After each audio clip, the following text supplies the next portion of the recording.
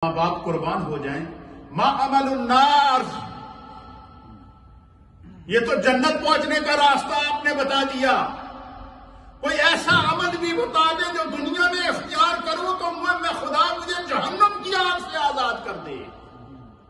अल्लाह मुझे जहन्नम से दूर कर ले। जहन्नम के आजाब से खुदा मुझे बता, बचा ले। कबर के आजाब से खुदा मुझे बचा ले। और क्यामत की होलनाकी से खौफ से अल्लाह मुझे बता, बचा ले। माँ अमल नार। आग से बचने का जो है वो अमल कौन सा है। कौला, नबी अकरम सल्लल्लाहु वसल्लम ने फरमाया, अल किस्बो हुजूर ने फरमाया कि जो शख्स झूठ बोलता है, झूठ झूठ को अपनी ज़िंदगी का मतबा नज़र बनाता है मजलिस में झूठ, घर में झूठ, अमन में झूठ, दफ्तर में झूठ, हुकूमत में झूठ, राया में झूठ, जो जो खुदा ने उसे मनसब अता किया है, वो उसको झूठ पर चलाता है। और झूठ ही उसने अपनी ज़िंदगी का शियार बनाया है। फरमाया कि वो अपने लिए जहन्नम का गड़ा खोल रहा है झूठ उसे जहन्नम की आग में जलाकर रात कर देगा। हजूर ने फरमाया कि, इजा कजबल आबदो फजारा हुजूर ने फरमाया कि जो बंदा झूठ बोलता है, झूठ को इख्तियार करता है, झूठ को अपनी ज़िंदगी का शियार बना लेता है तो फरमाया फजारा तो वो फिर गुनाह के रास्ते पे चल जाता है। और सच्चाई के बारे में क्या फरमाया था? कि इजा सदा कल अब तो बर्रा, जो बंदा सच बोलता है खुदा उसे सिरात मुस्तकीम पर चला देता है। और वो सिरात मुस्तकीम की जो शारा सिरात मुस्तकीम की जो मोटर मोटरवे है, वो उसे सीधा जन्नत में जाकर छोड़ेगी। और फरमाया कि इजा कजब अल जो बंदा झूठ बोलता है, फजारा, बस वो वो बुराई का रास्ता इख्तियार करता है, बुराई के रास्ते पर चल पड़ता है। और फरमाया कि वह इजा फजारा और जिस शख्स ने बुरा, जो बुराई के रास्ते पर चल पड़ा, उसके साथ शैतान मिलेंगे तरह तरह के सब्ज बाग दिखाएँगे। और फरमाया कि शैतान उसको जहन्नम के गड़े तक ले जाने तक उम्मीदें दिलाता रहेगा। उसको गुनाहों के अंदर दुनिया की लज्जतें बताता रहेगा, दुनिया के आराम बताता रहेगा, और वो जब जहन्नम के गड़े में पहुँच जाएगा तो फरमाया शैतान पीछे भाग जाएगा, वो जहन्नम के गड़े में गिर जाएगा। तो हुजूर ने फरमाया कि इजा फजारा बस जिस शख्स ने गुनाह का रास्ता इख्तियार किया तो गुनाह का रास्ता इतना उस इंसान को संग दिल कर देता है कि कफर वो उसे कुफर तक पहुँचा देता।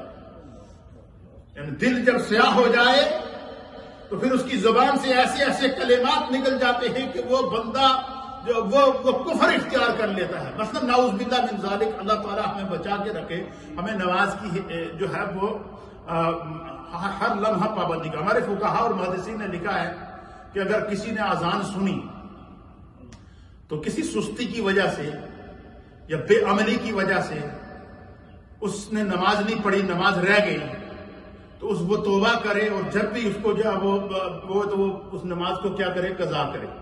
लेकिन अगर किस, किसी शख्स को कोई कह दे कि भाई नमाज़ का टाइम है नमाज़ पढ़ो तो नउज बिल्ला मिन जालिक वो वो नमाज़ का इनकार कर दे। क्या कर दे? वो इनकार कर दे। इल्म के बावजूद कहे कि नउज बिल्ला में नहीं पढ़ता हूँ। अब उलमा ने लिखा कि अब वो उसने कुफर किया है।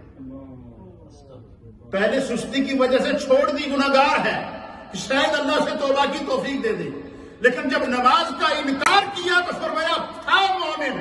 लेकिन वो नेकी का इनकार करने की वजह से खुदा के हुक्म का इनकार करने की वजह से मुस्तफ़ा की सुन्नत का इनकार करने की वजह से अब वो कुफर में दाखिल हो गया। तो यहाँ हजूर क्या फरमाते हैं कि इजा कजबल अब तो फजारा। जब बंदा झूठ बोलता है तो झूठ उसे बुराई के रास्ते में ले जाता है।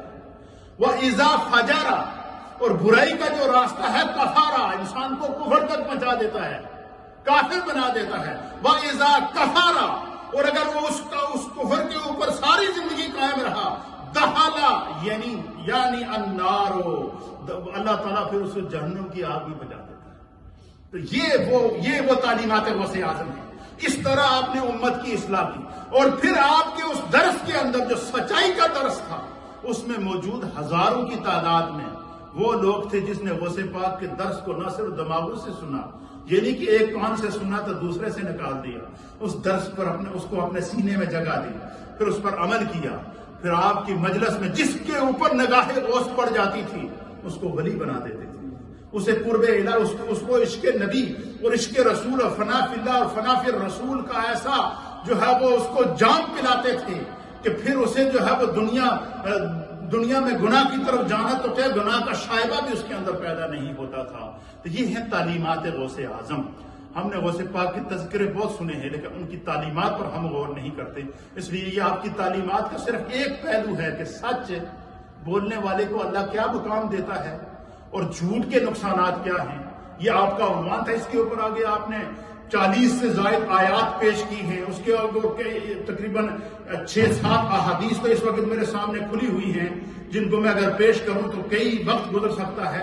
लेकिन सिर्फ़ मैंने एक हदीस का इंतखब इसलिए किया है कि शायद वोसे पाक के इन मलफूजात को आज वोसे पाक के यौम के सदके अल्लाह हमारी बख्शिश का ज़रिया बन गए हमें जन्नत का रास्ता आता फरमा इसलिए माओ, बहनों, बुज़ुर्गों, नौजवानों जहाँ जहाँ भी मेरी आवाज़ आप सुन रहे हैं, सोशल मीडिया के ज़रिए या रेडियो के ज़रिए